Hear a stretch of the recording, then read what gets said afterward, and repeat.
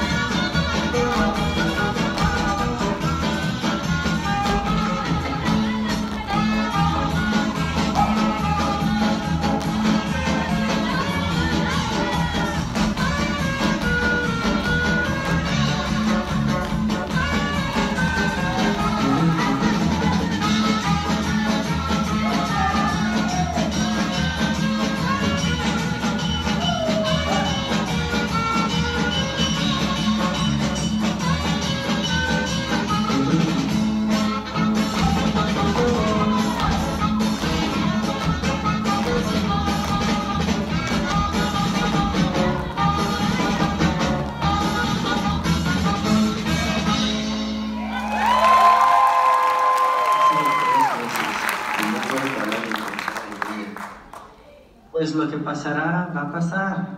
No te preocupes, hombre.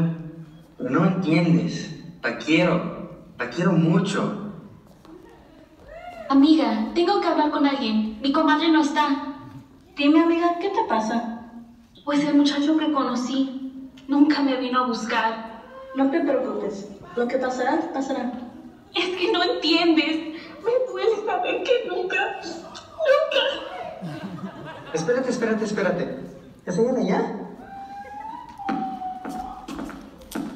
Oye, mira quién viene. Eres tú. Estaba buscando todo este tiempo.